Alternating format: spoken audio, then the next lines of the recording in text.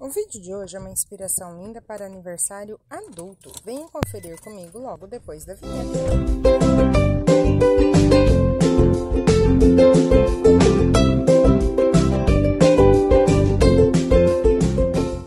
A decoração de hoje foi em tons de preto e dourado. Trabalhamos com a mesa em branco, peças de doce em dourado, flores e aquele feliz aniversário pendurado no painel. Esse feliz aniversário é fácil de você encontrar em lojas de decoração. E se você é decoradora ou está buscando uma inspiração para fazer uma festa linda, aqui no nosso canal entra sempre um vídeo novo com ideias maravilhosas para você.